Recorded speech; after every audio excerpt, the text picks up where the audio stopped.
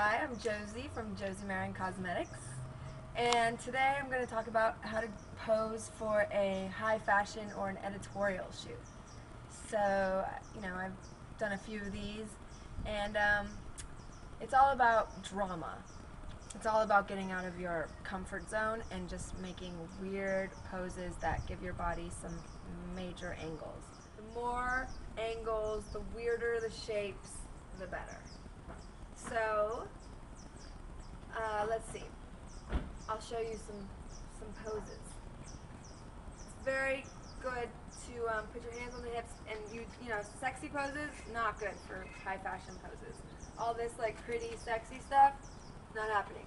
So poses that take you out of your comfort zone like let me see what am I doing? I'm putting my back I'm hunching my back, putting my arms out if I wasn't wearing this, you could see that there's a lot of bones like kind of popping out and just it's really good to see lots of angles and like move your head.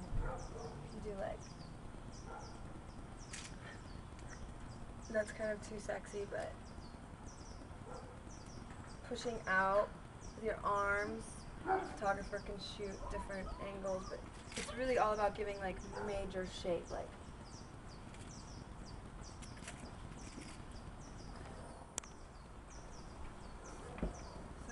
poses that look like you're moving, like stop in the middle of the move, are good. Um, working different props or environments is good, but remember to stay strong.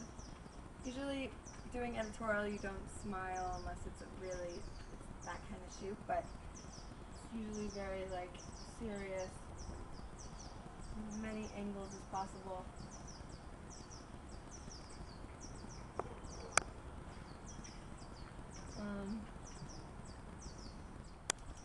Pushing things, so feel you can feel the tension in the picture.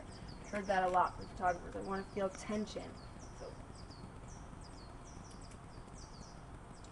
almost like they want to see tension in your face.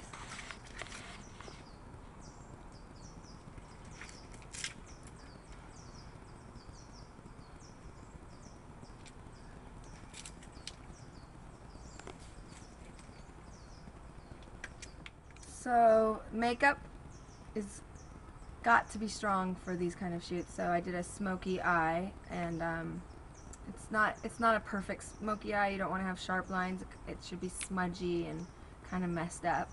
And a nude lip, you know, kind of a smooth, even, not too poppy face. Um, I use smoke eyeshadow and cinnamon to highlight the brow.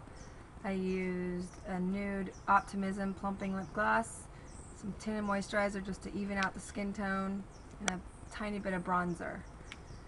And that's about it. And then you just gotta work it. Work it with your eyes.